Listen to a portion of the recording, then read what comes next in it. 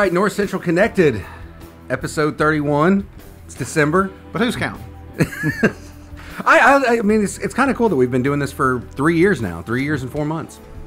Did you know that? I did not know that. Yeah. One year ago to to yesterday, I guess I was at home doing it in my in my wife's office uh, under COVID quarantine.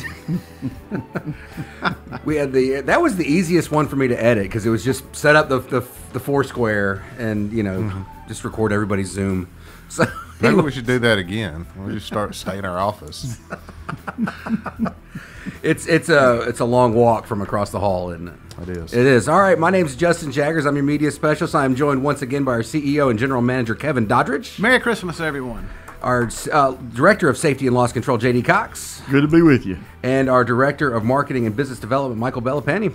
Good to do this. It's been a while. It it has been two and a half months, I think, Since we did the number 30, since we did number thirty. I'm now I'm worried about I'm count my. I gotta make sure I count the episodes right. All right, so we're gonna go straight into it. And uh, Kevin, it seems like for the past two years we just it just needs to be the connect I segment. don't, I don't know what we did prior to getting in the high speed internet business. Uh, actually, conducted an interview with uh, Tony LaPesca on this yesterday, and, and uh, you know, it's, it's good to, to, to, go back and see how everything started and see how far we've come. We, um, you know, we really got active in this a little over a year ago, and um, yeah, I I looked up and we got 1,100 customers right now, and you know we're, we're approaching 13 million dollars worth of investment, and that that's been a very sound investment on our part. We're not one of these co-ops that have um, you know qualified for tremendous amounts of grants, even though some have been out there. But we have used the grant money and we've matched it and we've used it very responsibly, in my opinion. That we've gone to the people that are underserved.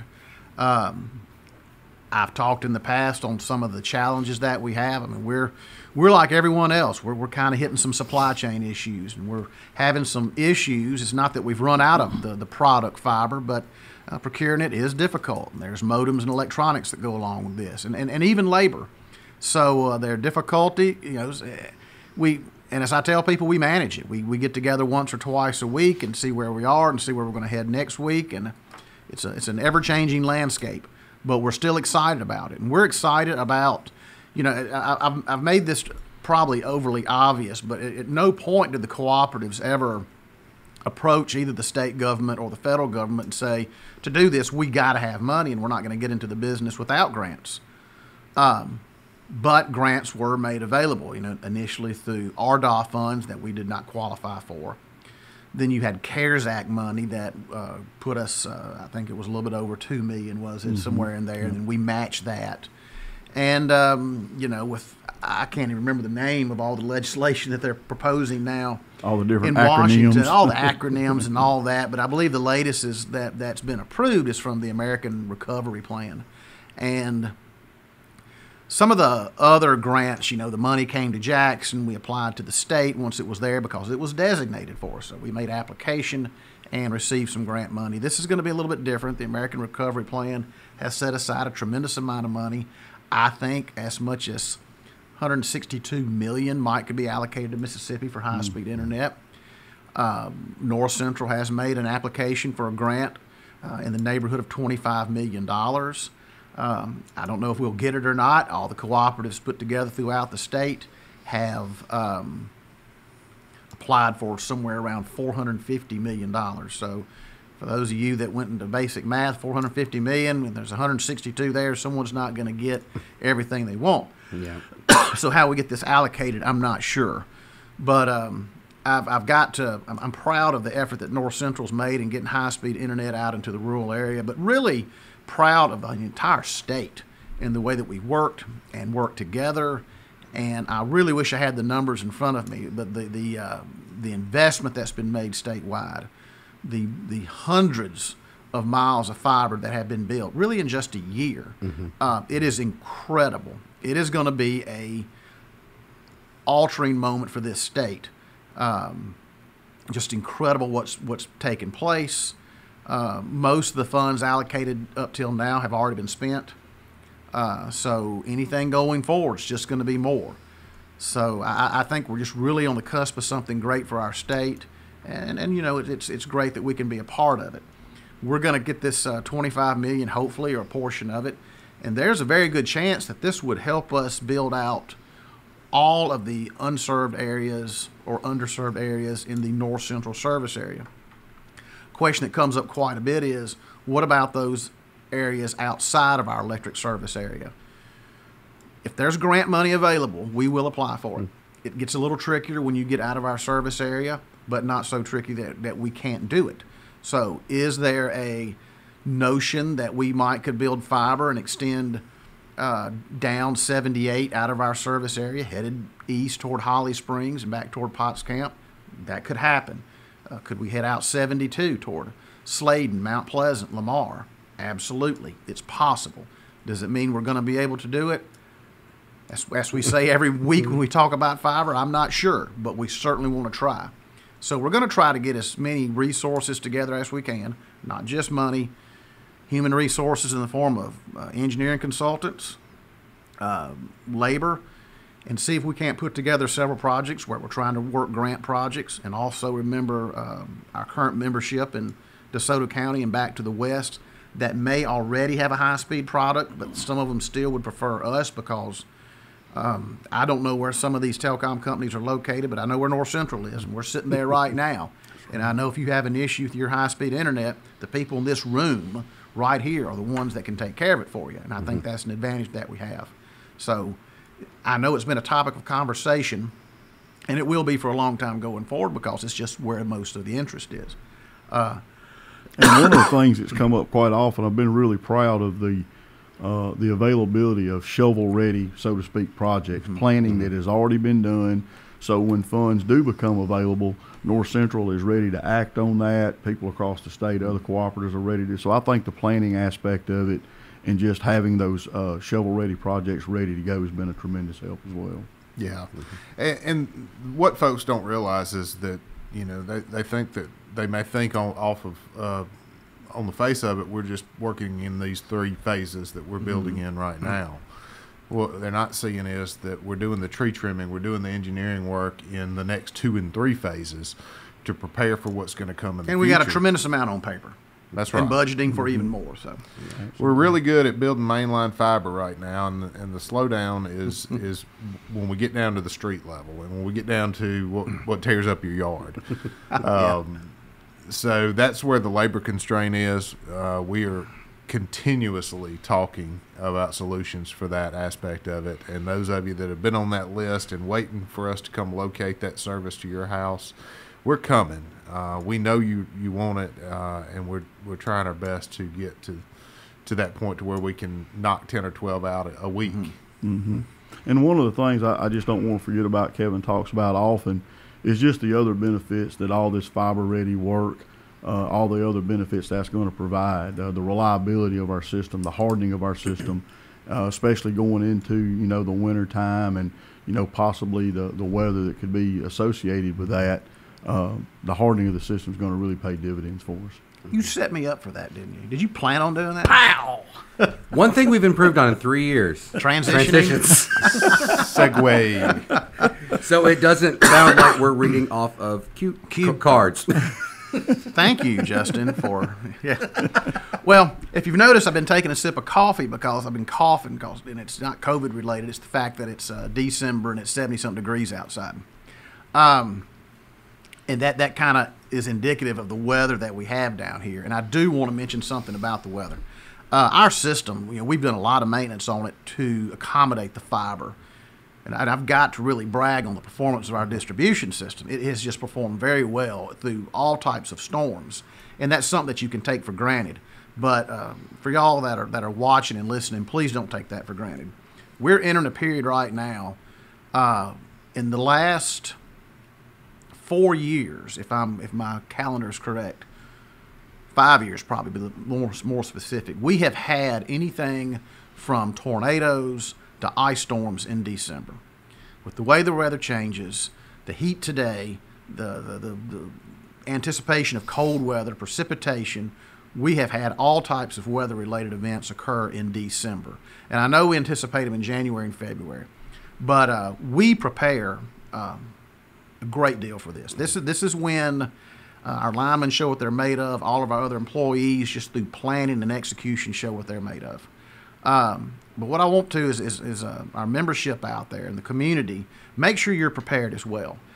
We have not had an instance around here to where people did without power, I don't think, for more than four days, probably since somewhere around 2009. And that's when we had a series of tornadoes hit Olive Branch and Byhalia concurrently. Um, y'all please remember that could happen again. I th- and I think sometimes if it hasn't happened over a span of time, we find ourselves just ill prepared for it. So it can happen again. We are preparing for it, making sure that we're working through supply chain issues and that we have the storm inventory on hand, the labor on hand, the backup labor on hand. But what we do need, uh, you know, to protect you is to make sure that you have a storm plan in place, uh, because especially these December events, they, they can creep up on you pretty quick, and you don't want to find yourself unprepared. Absolutely, and, and you know all the planning and stuff that we do here, um, you know, just asking the membership to think about, you know, just simple things: water, batteries. Make sure your cell phones and iPads and those devices are, are charged up and ready. If you have medicine that that has a special care, Get uh, innovative. If your medicine needs to be refrigerated and it's 30 degrees outside, you might can put it outside. You know, if, if, if your cell phone goes down, you might be able to charge it in your vehicle if you have enough gas and, and want to do that safely to avoid uh, carbon dioxide poisoning. But Yep. there, there are, you know, think these things through and think, you know, how much water you may need a day. Just different things like that, where you depend on electricity and, and how you do without it for a prolonged amount of time. And the Mississippi uh, Emergency Management Association, they've really done a great job on their website of of They do, preparedness yeah. plans. So I, I would encourage you. You know, uh, I know we talk about uh, these things, and we may throw a few things out there, but really, uh, if you'll go to their website, they have a comprehensive list by category of, of types of events that could happen and things that you may want to keep in mind to have on hand. Uh, so uh, please uh, check that website out. I think there's a lot of good information there. Generator safety is, is so important in times like that. Generators are obviously convenient, uh, but there's some things that you need to make sure that you do and things that you If don't I recall, need if you go back last year to the hurricanes that hit South Louisiana, if if I'm correct, every fatality was directly related to the use of a generator. uh, and early on, uh, I, I want to say like the first six or seven fatalities that they had were associated with uh, something happened with a generator. Absolutely. Okay. So, um, is, is there more for from safety? Absolutely. okay. Keep transitioning us. It was, it was well, just uh, uh, avoiding the awkward pause. Uh, well, in, in addition to you know weather preparedness and things like that that we need to think about, you know that that leads right into uh, you know Christmas is coming up. People are stringing lights all around the house, uh, all in the neighborhoods. I've I've seen a lot of it already show up on social media and things like that. Special Guilty. time of the year. yep, ab- absolutely. Um, so just want to remind uh, folks of a, a few safety things out there. If you're putting lights outside, you know, make sure those lights are rated to be outdoors and that you're not using indoor lights. Uh, for a consumption uh, purpose, make sure if you can that they're LED lights. Uh, really uh, saves a lot on uh, the electric bill, and you don't have the associated heating of the older traditional lights, things of that nature. Don't overload electrical circuits. Uh, you know, I just think about You all can the- do that? I just think about all the Christmas movies that we've all grown up watching over the years, and you know the the thousand strands of lights that they put together and all that stuff. But that that really is of concern uh, every year at Christmas. People overloading the circuitry in their house with lights. Seeing how fast the meter can start spinning. Absolutely, and, and then especially you know when you start applying those lights, especially if they're not LED lights to Christmas trees. If it's a real Christmas tree, make sure that you keep plenty of water in the tree so that it doesn't dry out. And uh, uh, every year, uh, you know how safety guys are; they love statistics. But there's a couple of hundred houses a year burn up every year because of, of lighting and and trees that weren't watered properly and things of that nature. Uh, and uh, ladder safety again, going back to the movies that we all watch, people outside stapling lights all over their houses, taping them to gutters, and all of the things that we do. Um, you know, and, and they'll make a two by four ladder to stand on. You know, so make sure that you uh, that you have a, an appropriate ladder that is safe. Uh, make sure you're not uh, using that ladder around, around electrical lines and things of that nature. Um, and uh, be careful with the candles. Um, people love to burn candles this time of year. Um, my house, we're certainly not excluded We light that. our candles with the remote control. I've learned. You just point at them and hit the remote. And What times we live in. fireplaces, candles, whatever. Just pick up the cell phone and strike them. It, it's all working. And uh, so, just that's just a few things to keep in mind as far as safety. And one other thing that I would like to talk about is uh, we have a very successful uh, line worker program uh, here uh, in Olive Branch. Uh, the Northwest Community College line worker program uh, has had about three classes to graduate now. You know, and the thing that's interesting about it, as word gets out of, uh, about the line worker school, uh, it's a 16 week course. Um, when the students come out of it, they have a they have various credentials, uh, the, the appropriate commercial driver's license, things of that nature. But what's interesting about this whole process is now we're getting to the point that even before they graduate, 75% of the class has a job before they ever even graduate. Uh, and these are, uh, and I shouldn't say job. I, I want to correct myself there. Uh, it's a career. Um, you know, to me, the, the line worker program and the way people are approach approaching um, this profession now reminds me of how people approach nursing. Uh, it, it's it's really I feel like nursing is really just a very high educated apprenticeship program basically, and I feel like um, you know the apprenticeship program and the line worker school down at Northwest has got going. I feel like it's really evolving into something very similar. It is a career, and when so much opportunity that comes out of it. it's un- So I mean, when, when people leave that class, there is so many different directions uh, that they can go, and and not just um, not just have a job. They can have a career uh, that really will will take them, you know, through and provide them with benefits, a great retirement one day, things of that You, nature. you'll see linemen that, that, of course, go on to continue to become linemen and crew foremen and, and various aspects of leadership. But you also got, in your case, safety and mm-hmm. loss control.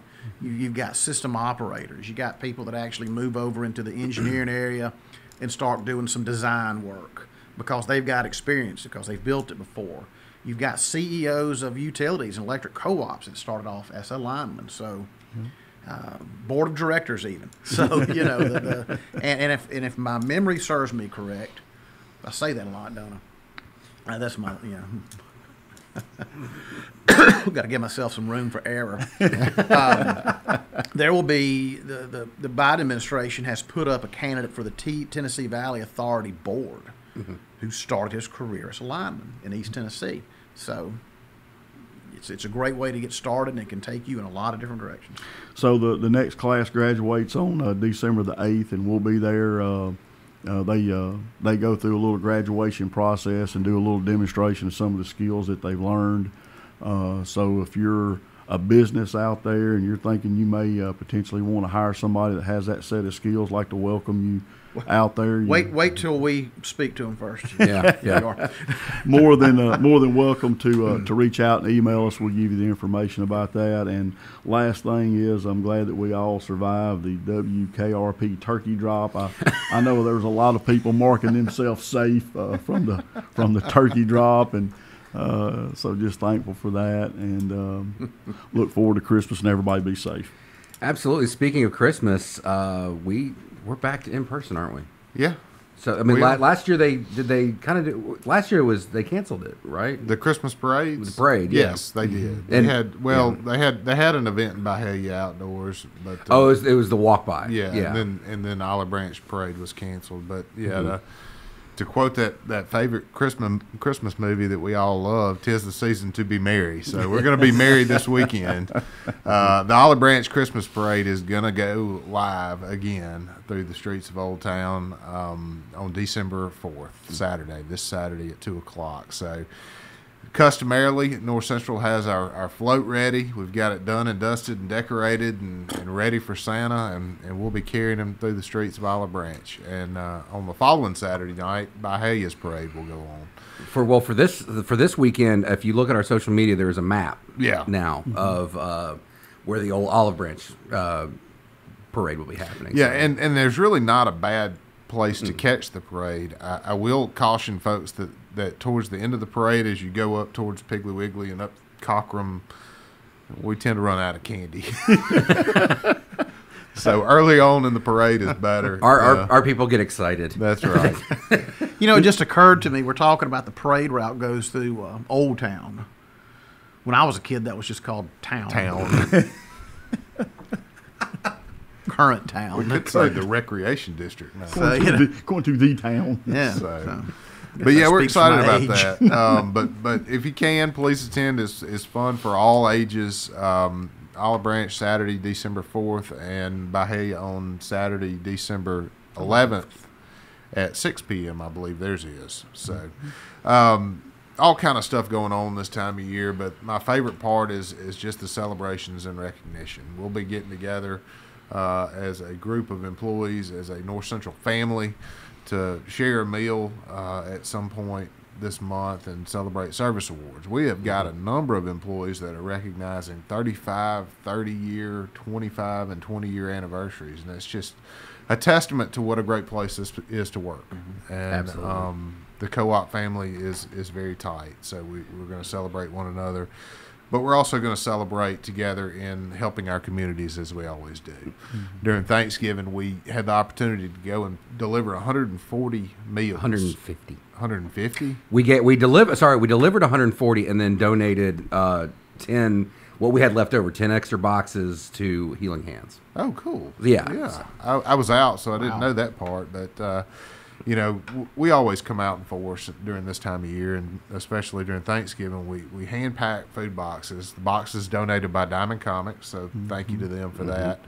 Um, and thank you to Reed's uh, and Byhalia for helping us uh, assemble the food. Um, but to come together and to have a project like that and to, to deliver a meal and, and, and look a, an elderly person in the face and, and um, just just greet them and wish them a happy Thanksgiving was great. Uh, we'll continue to do other projects like that through Christmas. Um, but one thing I'm really excited about is the Community Care Fund uh, is back, and this is something that I think we ran an article in, in the Today in Mississippi about this uh, Over last year. Yep. But TVA has has established a matching grant uh, program uh, for all seven states um, that they cover, and this is designed to help folks during COVID recovery. Um, but it, they've expanded the parameters of this grant to where we'll be able to help more nonprofits and different projects uh, to help improve the quality of life in the areas that we serve. So we have funded that grant. We've got eighty thousand dollars with the community foundation together with uh, TVA's contribution. That's our total. Be out seeking matching grants to grow that pot of money and look for projects uh, in our service area that will help improve the lives of those that we serve. So, Sounds like one of those infomercials, but there's more. but there we is- come up with forty thousand, you give a TVA, and there's more, and then there's a possibility there could be more. Well, hey, one of our listeners may be on the board of a nonprofit or may be in charge of a, a foundation. So, Yeah. if you are looking to great uh, investment. to uh, to make a donation before year ends, you may contact the Community Foundation of Northwest Mississippi uh, in Hernando because they are administrating this this fund and um, they can assist you with making that contribution. Um, speaking of the Community Foundation, I do want to offer a promotion for the twenty second annual Crystal Ball, which benefits the Community Foundation of Northwest A night in Mississippi. Havana. And yeah, the theme is a night in Havana. It's going to be January 15th uh, at the arena, multipurpose arena in South Haven. Um, this is a 22nd event. Last year's was virtual. Uh, and this year we're actually going to celebrate the 20th anniversary of the Community Foundation, uh, the formation of the foundation. So, uh, fun night out, uh, dinner, dancing, great meal, auction items, um, and all of it goes to um, raise funds to help support the efforts of the Community Foundation of Northwest Mississippi. Great organization that covers an 11 county footprint in Northwest Mississippi down into the Delta. Um, and I believe at last count, they had supported 850 nonprofits, over 850 nonprofits and charities. Whenever I cut the spots for them, I just say over 800, and that kind of covers it. Yeah, it does. well, we, we like to round up, so we're over 850 Yeah. now. So So it's a night in Um, Havana. A night in Havana. Do we have to wear a tie? Yes. Can oh, we Or wear bow our. Tony Montana Scarface outfit? You could, I, I suppose. You could. If you still have yours, if If I memory still serves. have mine. That's great. that's great. But the highlight of the event, I'll tell you this: we do honor a Star of Hope, and that's a, a, a notable figure from Mississippi or that lives in Mississippi that's a champion for our state. Mm-hmm. And we'll be honoring Erin and Ben Napier uh, from HGTV's hometown, and they've got a couple other stores uh, or shows and, and stores. Um, but they will be there at the event. Uh, we've received confirmation that their hotel rooms are booked, and we'll be happy to bestow this honor on them uh, to to be the Stars of Hope for Mississippi. Um, and if you would uh, are interested in attending or sponsoring, please visit cfnm.org, cfnm.org, or contact the Community Foundation of Northwest Mississippi in Hernando. Um, and lastly, just we're we're kind of gearing up for an active legislative session. Hold on to your wallets. The legislators are coming back to Jackson. Um, no, in all in all seriousness, it will be uh, good to get back to Jackson to have a, a what would hopefully be a normal legislative session, if there is such a thing. Um, and as as you know, He had me at cooperatives- good to get back to Jackson. Ever the optimist. try and stay positive. you go. No, really, we do. We've got great friends in Jackson, great supporters, and the electric co-ops have done great work, and we, we maintain these relationships on behalf of our members.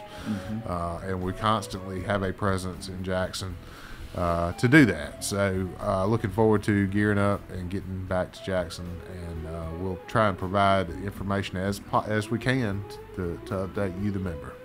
Absolutely. And uh, as you are, uh, we approach this holiday season. You know what makes a great stocking stuffer? Oh. The Musicians for Le Bonheur CD. It's available musiciansforlebonheur.com. We've got 40 tracks, um, and the first the first track right there is Kevin's favorite local band, Free World. so Put them up top. we have to, and then it's uh, you know, it's we've got like uh, country artists, rock artists, uh, reggae artists, um, Americana singer songwriter, everything that you think of from the Mem- Memphis and Mid South area. We offer on this CD. How can you not buy that? It, it's it's difficult not to. Where do you Um, get it? You can get that at musiciansforlebonheur.com. You can get it on Spotify, iTunes, Amazon Music, anywhere you get good tunes. Uh, you can get that, and it's, it's really funny. One of the uh, artists on here uh, this morning at 4 a.m. bought 10 copies of this. She's going to give this out as stocking stuffers. So. Uh, Mi- Michaela Compton, so she actually wrote a song for her daughter on this. It's featured on The the, CD, album. not the cassette. The, no, no, no, the cassettes are sold out. So yeah, along with the eight tracks. But We did. We might need to consider vinyl. Uh, My son has asked for vinyl for Christmas. Yeah. I got a vinyl gift yesterday. Yeah, okay. very cool. And we you did. also- we, we did too, though. We yeah, got we, one from, the uh, Mississippi Stomp uh, gave us vinyl. Sonny uh, Yeah, delivered yep. those for us. Yep. Uh, thank you. They participated in the uh, the uh, the remote or sorry socially distant concert that we have available on YouTube. Um, you can check that out. Um, all of it. Search for musicians for Le Bonheur on Facebook, Twitter, Instagram, YouTube, TikTok, Snapchat, LinkedIn. So, I, I, I think I handle like twenty something social media accounts at this point. Between North Centrals and, and Musicians for Le Bonheur and North Central Connect and North Central Connected and, and everything else. So uh, find us. Find North Central. Uh, NorthCentralElectric.com, NorthCentralConnect.com. Find us on all social media, and uh, we will see you in 2022. Merry Christmas. Merry Christmas. Christmas.